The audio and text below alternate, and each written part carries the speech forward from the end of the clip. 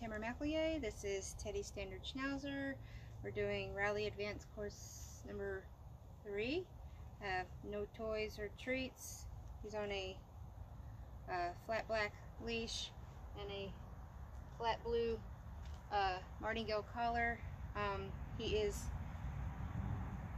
18 inches tall and the jump is 14 inches tall.